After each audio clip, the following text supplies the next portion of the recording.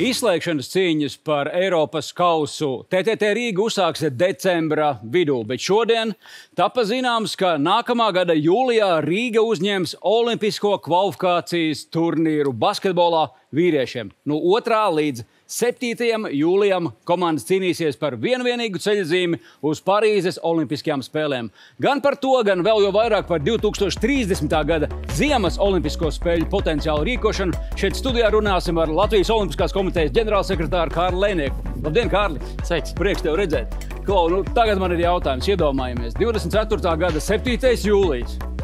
Uh, Latvijai ir ceļojums uz Olimpiskajām spēlēm basketbolā. Jā. Pēc nepilnām trim nedēļām sākas spēles Parīzē. Ko tas nozīmē Olimpiskajai komitejai vispār? Nu, protams, ir viens kaut... problēmas droši vien.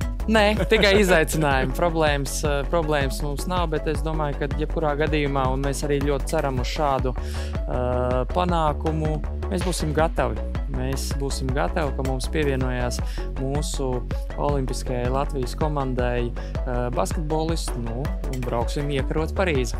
Klausies, bet nu, viņš ir māņķicīgi. Viņš neļaus uh, uzvalkt šūdināt vēl pirms turnīra.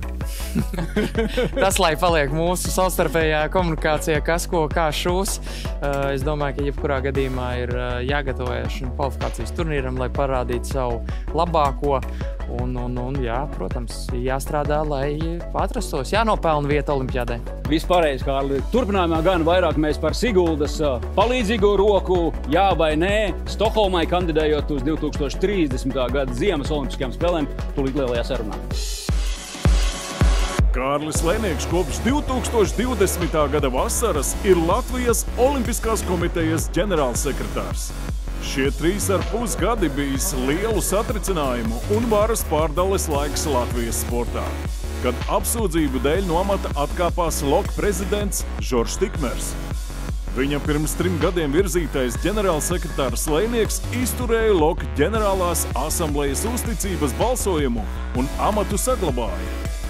Lēnieks ir Ernesta Gulbja vienaudzis, Līdz 23 gadu vecumam bija tenisa profesionālis un pārstāvējis Latviju arī Deivisa kausā.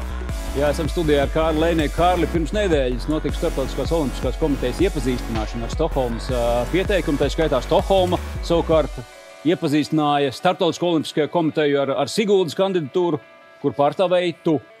Es... Daļa, daļa, daļa no tā tas ir kopējais Zviedrijas uh, pieteikums un uh, tika prezentēts potenciālo sporta uh, veidu salikums pa pilsētām. Mm -hmm. tā, es nepārstāvēju Sigūdu, es pārstāvēju Latvijas Olimpisko komiteju, kas ir, kā, nu, kas ir daļa no šī procesa. Jā, Zviedrijas pārstāvji prezentēja savu redzējumu par Olimpiskajām un Paralimpiskajām spēlēm. Mēs tur bijām kā viens no, viens no partneriem. Nu, un, jā, mēs noprezentējām stundas laikā, bija dažādi jautājumi par to, bet nu, tā, tagad jau sākās tāds uh, detalizētāks darbs tālāk par to, kā tas varētu izskatīties. Kurš šobrīd Latvijā ir vadošais spēks šā, šī procesa virzīšanā? Kāda ir loka atbildība, piemēram, šajā? Jo ir izteicies izglītības ministrijas sporta departamenta vadītājs šie mistiskie 58 miljoni, kas kādu mēnesi apmēram sabiedriskā telpā klejo un vēl nav īsti skaidrs, vai tas ir fināla skaitlis, sākuma skaitlis, labi, bet tā liela atkāpe. Bet, bet kurš ir virzītājs spēks šajā visā procesā šobrīd Latvijas pusē? Latvijas pusē virzītāja nosīt, sarunu vedējs šobrīd ir Latvijas Olimpiskā komiteja saistībā ar Zviedrijas Olimpisko komiteju, bet mēs jau šonadēļ, un jau arī iepriekš esam iesaistījuši izglītības ministrijas sporta departamentu vadītāju Vladimiru Steinbergu, es domāju, ka jau šīs nedēļas sarunā mēs arī Uh, ņemsim klāt uh, trases operētāju, īpašu, īpašnieku pārvaldītāju uh, Nacionālo sporta centra pārstāvi. Es pieņemu, ka tas varētu būt Daniels Nātriņš. Tā kā mēs uh, virzīsimies soli pa solim, lai arī uh, pie tā, ka uh, process uh, tikai pēc nostāstiem atšķirās no iepriekšējās reizes, nu, mēs kopā ar Zviedriem iesim soli pa solim cauri tam visam, lai nonāktu līdz nu, kaut kādai konkrētībai, un kuru mēs arī pēc tam varētu publiski ziņot. Tātad ilgtermiņā Latvijas Olimpiskā komiteja arī varētu būt tas centrs, ap kuru tad ir uh, izglītības ministrija, uh, sporta bāze, pašvaldības, tad jūs būtu tas, tas kodols šim procesam, vai, vai kā tu ideālā, normālā kārtā, lai tas būtu pragmatisks darbs, soli pa solim? Es domāju, ka uh, tā situācija varētu būt veidoties tā, ka ir šī, ja vispār spēles tiek piešķirtas. Jo, jo nu, tas ir pirmais jautājums. Jā, jā bet nu, līdz tam jau ir. Lī, līdz tam uh, būs organizācijas komiteja, kas attiecīgi sastrādāsies ar visām pieminētajām institūcijām. Uh, trasi, trases operētāji potenciāli, kas rīko uh, sacensības, kas nodrošina visu to procesu. Tā kā es domāju, ka uh, nevis es domāju, bet šī būs tā nu, teiksim, no Zviedrijas puses organizācijas komiteja.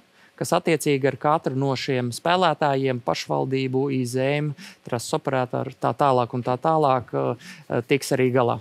Un tā skaitā jā. Olimpisko komiteju. Jā. Man, man izklausās, ka Latvijai nevajag pārvērtēt varbūt, savu, savu lomu dažādos puzles gabaliņos, ka mēs esam tādi apakšnieki. mēs, mēs esam ne, varbūt ne gluži apakšnieki, bet mēs esam tāds tā kā mazākuma partners. Mēs esam uzrunāti, par ko mēs pateicamies, jo šobrīd mēs esam vienīgie partneri šādā izteiksmē, un arī mēs varam būt diezgan unikāli, kad šāda veida Ja tas, protams, vispār uh, notiks, kad divas valsts tiek iesaistītas. Jo vienmēr ir bijušas daudz arī diskusijas par to starptautiskā līmenī, kad ātras lidošanā arī nav stadions ne Zviedriem, ne Šveicei, ne fr Francūžiem. Es nezinu, vai pat 30. gadu amerikāņi piedalās.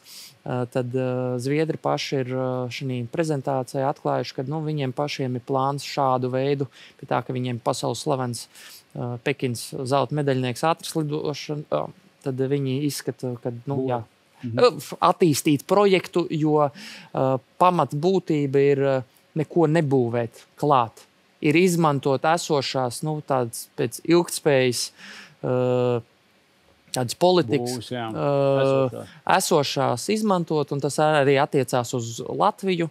Nebūvēt neko jaunu. Labi, nebūvēt jaunu, bet pārbūvēt. 58 miljoni. Vācieši tagad kaut ko gatavo, kaut projektētāji saprot, kur mēs šobrīd esam, kāda varētu būt izmaksas, minimālais projekts, maksimālais projekts.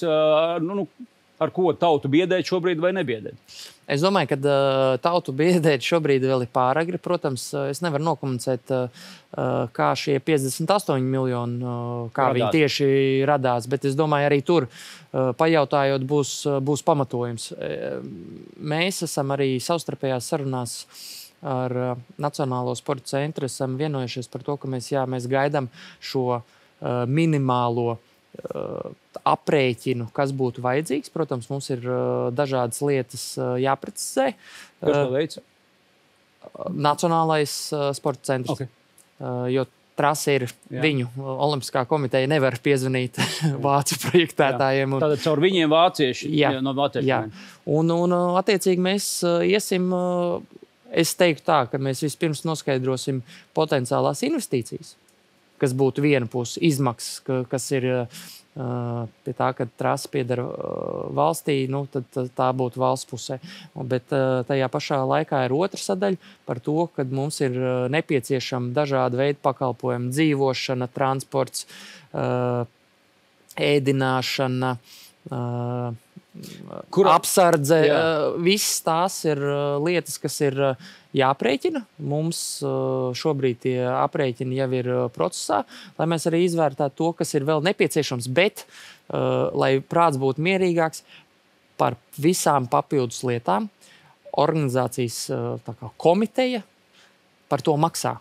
Stokholmas spēļu organizācijas komiteja. Ne, Tieši tā. Nevis, nevis Rīga un Latvija. Jā. Sigulda un Rīga ir pateikusi, ka esam gatavi iesaistīties Olimpisko spēļu organizēšanā. Nu, tāda arī vēl kārtējais virsraksts Jā. pēdējo nedēļu laikā. Ko tas nozīmē? Gatavi iesaistīties. Tas, tas, es, pat, es... es arī esmu gatavs iesaistīties. Tā ir tāda labā griba, jo šobrīd, šobrīd nekas vairāk no mūsu puses netika prasīts. Mēs konkrēti pajautājām, nu, proces, procesuāli, kas viņiem ir vajadzīgs. Uh, Eh, no Latvijas puses. Viņi bija ļoti priecīgi par to, ka ja uz 28. gada Rīgas eh, pašvaldība netika iesaistīta, bet mēs saprotam to, ka eh, visi potenciāli, jebkurā gadījumā, ieradīsies caur Rīgu.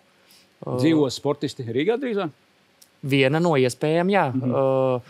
ja mums ir Siguldā trīs sporta veidi, uh, kā piemērs mūsu, ja es negribu samelot, man tā liekas, lielākā viesnīca, viesnīca Latvija, Radisons, uh, var uh, pilnībā nodrošināt. Bet tas ir, tā šobrīd ir spekulācija par to, kur viņi un kā viņi dzīvos. Bet opcija tas, ka viņi var dzīvot viesnīcā, tik tiešām paliek.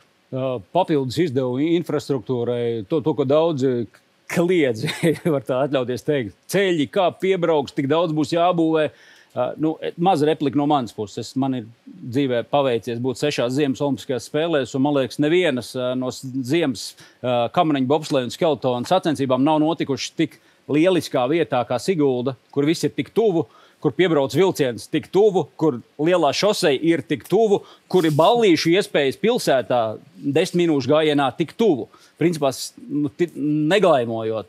Perfekta vieta, vai ir kaut kur slēpti kaut kādi izdevumi, kas no valsts tiek prasīti, lai kaut ko būvētu. Nezinu, vēl divas uh, joslas šosejai vai, vai, nē, vai vilcienu labākus, ko mēs gribam. Tā, tā, tādi ir nosacījumi par to, lai tur notiktu uh, sacensības tāds uzstādījums nav. Jā, uz 28. gadu bija, uh, bet tad, tas tika gatavots uz uh, cita veida uh, pamatiem un, un nosacījumiem, ko pieprasīja uh, Starptautiskā olimpiskā komiteja. Bet šobrīd šāds uzstādījums, un ko mēs arī ar Zviedriem esam runājuši, absolūti nav. Uzstādījums ir uh, tāds, ka, uh, lai trase būtu pieejama, viņa būtu atbilstošā kvalitātē, un tur varētu novadīt sacensības ar visu nepieciešamo sportistiem un visiem iesaistītiem. Bet tas nenozīmē, ka ir jābūt nezinu, Real Baltica 2 vai obligāti četrām, ne, vēl, uh, vēl četrām uh, joslām klāt. Nu, tas ir, uh,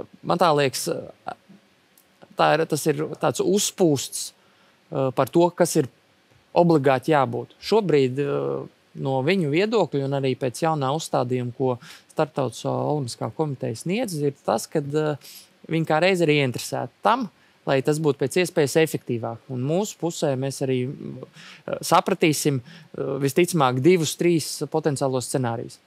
Uh. Zviedru gatavība iesaistīties, varbūt līdzfinansēšanā arī trases pārbūvē, vai tāda ir? Vai? Nē, kapitāla ieguldījumos viņiem uh, tāds plāns nav, jo viņi nav īpašnieks. Un, un, un tas arī šim mērķim Starptautiskā olimpiskā komiteja arī nesniedz nekādu finansējumu, kapitāla ieguldījumiem. Šortraks hokejs arī šie divi sporta veidi ir pavīdējuši iespējā, iespēju potenciāli Rīgā rīkot. Vai tas ir izrunāts, vai, vai tiešām uz galda ir šāds jautājums arī ar Zviedriem runājot? Šobrīd uz galda šāds jautājums ir. Es vairāk slītos to, ka potenciāli tas varētu būt drīzāk šortraks nekā hokejs.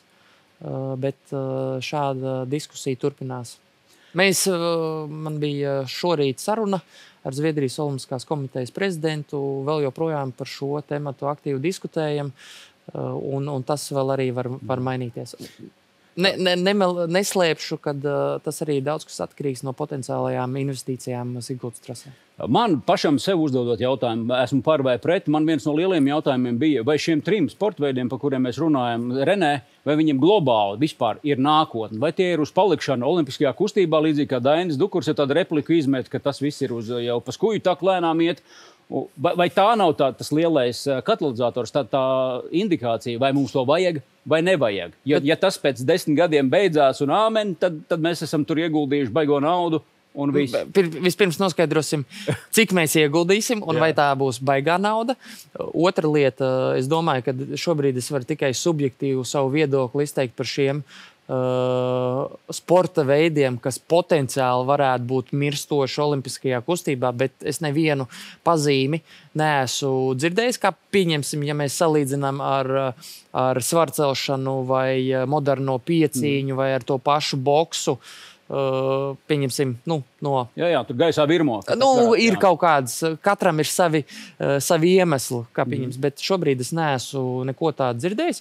Protams, vai atkal subjektīvi šie sporta veidi uh, starptautiski tādā pasaules līmenī varētu, nezinu, uh, darīt kaut ko vairāk vai labāk, bet tas atkal ir subjektīvs mm. viedoklis. Tas nav, uh, jebkurā gadījumā mums ir Siguldas trāsa. Un tad uh, tāpat tās. Vienalga, kas tajā notiks, kaut kas tur ir jādara. uh, jā, un tad, protams, tā ir uh, izšķiršanās. Man liekas, ka uh, šis, saprotot jau ento reizi pieminētās izmaksas, mēs varam saprast, kas mums ir aktuāls. Jo, jo ilgtermiņā jau mums tāpatās ar to trasi būs jābūt skaidrībai. Tikai vienā vārdā jau var atbildēt, jo pirms gadiem četriem likās, ka neviens vairs pasaulē ne, ziemas spēles negrib rīkot. Nu, ja nu vienīgi Ķīna un Krievija, nu tās valsts, kas negrib, kas nav Laiks mainās. vienkārši neskaita. Tagad ir reāli kan, uh, ir uz 30. Es, es pat teiktu, 30. un 34. gadā ir ļoti nopietna konkurence. Jā.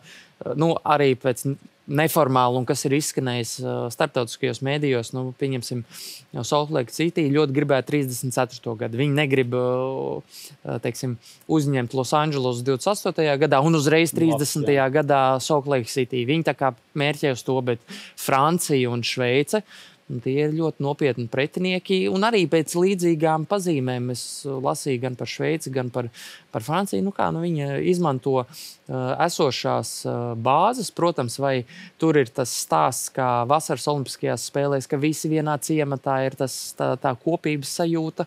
Uh, tas no tā nedaudz atkāpjas, bet nu, Mm.